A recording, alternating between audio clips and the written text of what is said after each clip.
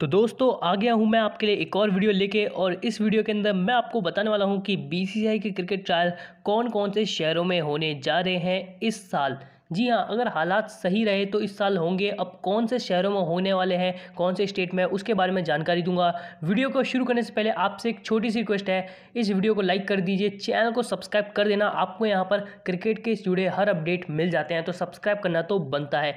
तो मैं आपको सबसे पहले ये बताता हूँ कि कौन कौन से शहरों में हो सकते हैं। तो देखो, सबसे पहला है जयपुर के अंदर। जयपुर के अंदर इस साल होने के पूरे चांसेस हैं अगर हालात सही रहे तो। दिल्ली, मुंबई, पुणे तो पुणे के तो अभी रजिस्ट्रेशन हुए भी थे, चंडीगढ़ के भी रजिस्ट्रेशन हुए थे, चंडीगढ़ में भी होने के पूरे चांसेस है और अपडेट भी आई है कि चंडीगढ़ में होंगे। उत्तर प्रदेश के मेन शहरों के अंदर लखनऊ, कानपुर और फरीदाबाद, प्रयागराज यहाँ पर होने के पूरे चांसेस हैं। अब छोटे छोटे डिस्ट्रिक्ट हैं जो उत्तर प्रदेश के, वहाँ पर भी होने के चांसेस हैं, पर उतने नहीं हैं जैसे मेन सिटी में ज़्यादा है।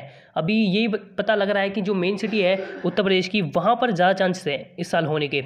और अगर हम बात करें बेंगलोर के अंदर तो वहाँ पर भी होने के पूरे आसार हैं। वेस्ट बंगाल के अंदर भी हो सकते हैं, ट्रायल। अब वेस्ट बंगाल के कोलकाता के अंदर बहुत ज़्यादा चांसेस है कि स्टेट लेवल ट्रायल्स हो। उसके बाद में अगर हम बात करें तमिलनाडु के अंदर तो चेन्नई के अंदर उनके ट्रायल हो सकते हैं।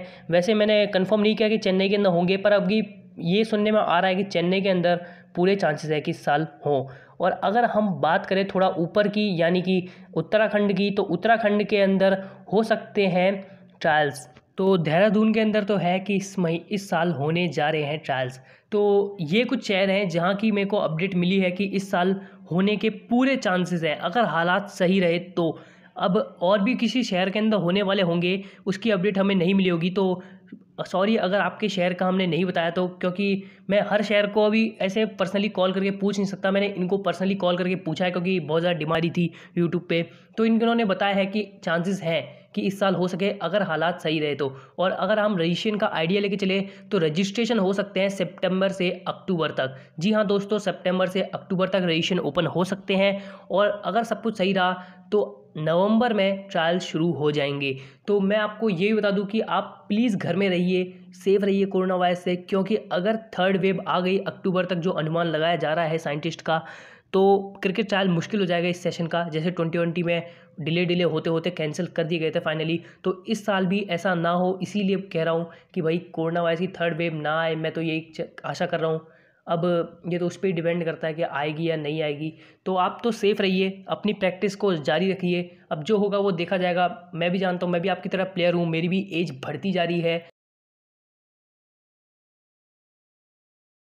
और ट्रायल्स डिले होते जा रहे हैं, लगातार अपॉर्चुनिटीज़ भी कम होती जा रही है तो क्या कर सकते हैं फिर?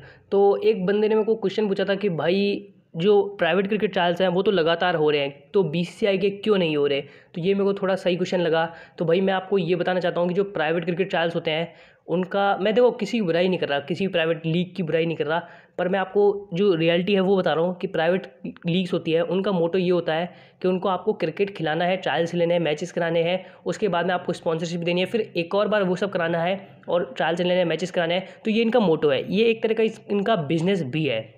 ठीक है, ये रियलिटी भी है यार। मैं आपको सीधा सा बता रहा हूँ, कोई भी छुपाना नहीं चाहता, आप भी जानते हो।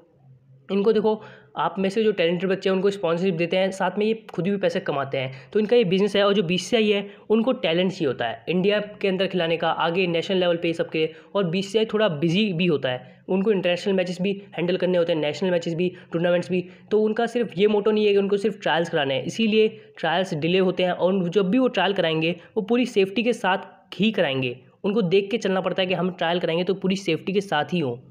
क्योंकि जो बीसीसीआई का क्रिकेट ट्रायल होता है ना, उसके अंदर इतने ज़्यादा बच्चे आते हैं ट्रायल्स देने के लिए कि उसको संभालना बहुत मुश्किल होता है। और ऐसे टाइम पे, ऐसी क्रिटिकल सिचुएशन में ट्रायल करा के वो भीड़ इकट्ठा नहीं कर सकते बहुत ज़्यादा, क्योंकि कोरोना वायरस के केसेस अभी अभी कम हुए हैं। वो एकदम से भीड़ इकट्ठा नहीं कर सकते। तो जो प्राइवेट लीग्स की बात करें तो मैं आपको बता ही दिया कि उनका मोटो ये होता है कि उनको बार बार क्रिकेट ट्रायल कराने हैं लीग मैचेस कराने हैं और उनको स्पॉन्सर करना है, उसके बाद में उनको भी बिज़नेस करना है थोड़ा। तो उनका ये बिज़नेस है, इसलिए वो करते रहते हैं और जो बी है, उसको और भी मैचेस कराने होते हैं, वो बिज़ी भी होते हैं और उनको पूरा सेफ्टी के साथ में चलना होता है। इसीलिए वो ऐसे क्रिटिकल सिचुएशन में ट्रायल ना करा के डिले करा देते हैं। सो आई होप आपको आपके जवाब मिल गया होगा।